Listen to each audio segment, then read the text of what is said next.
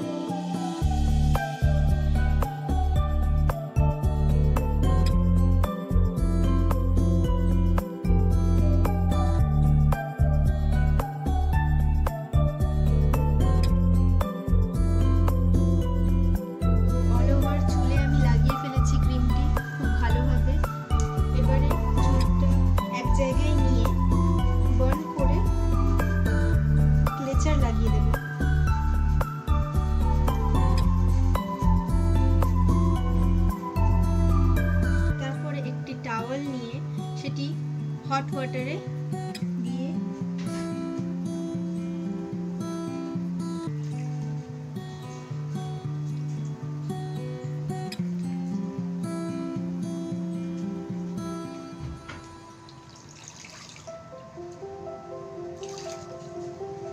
Hot ওয়াটারে ডুবিয়ে চিপিয়ে সেটিকে vapour নেওয়ার জন্য পুরো চুলে ভালোভাবে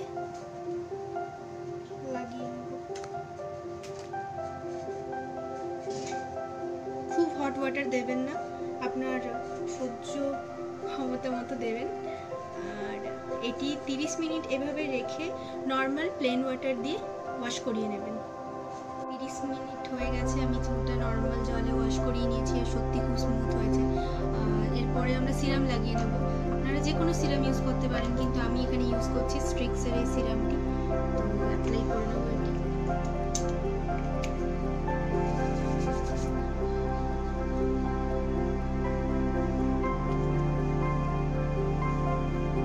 অ্যাপ্লাই করে নেবেন।